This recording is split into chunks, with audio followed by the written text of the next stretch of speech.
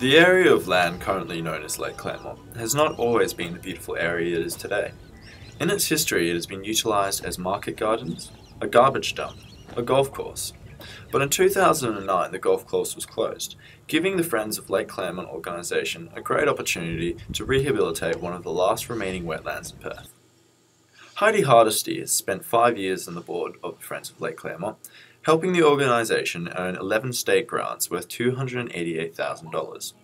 She is in charge of the rehabilitation project for the lake, which is the largest bushland rehabilitation project undertaken this winter. What projects is the organisation currently undertaking?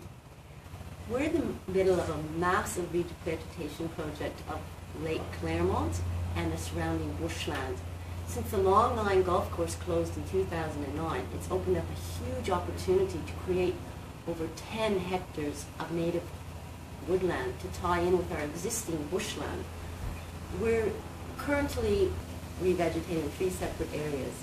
The wetland bed itself, the wetland buffer, which is the fringing vegetation on the edge of the lake, as well as the remnant bushland and the adjacent old fairway.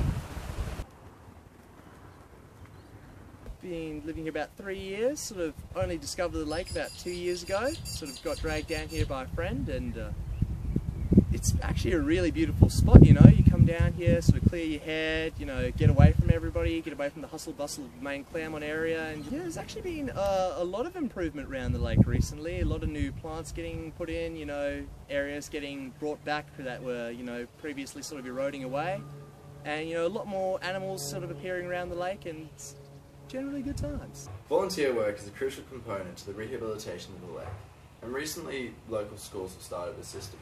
How important do you think the lake is for future generations? It's extremely important for future generations. We have very few remaining wetlands left, and they provide a lot of ecosystem services.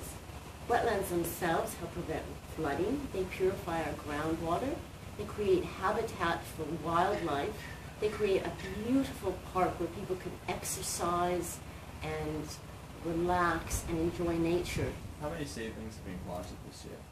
We planted 83,000 native seedlings. Probably the largest project in all of Perth this winter. Yes, a lovely scene here, and one that's only going to continue to become more and more beautiful as summer hits us and the utilisation of Claremont Lake increases. 10 hectares of uh, land has been rehabilitated here and local schools are starting to assist in the rehabilitation of Lake Claremont with the Society of Friends of Lake Claremont.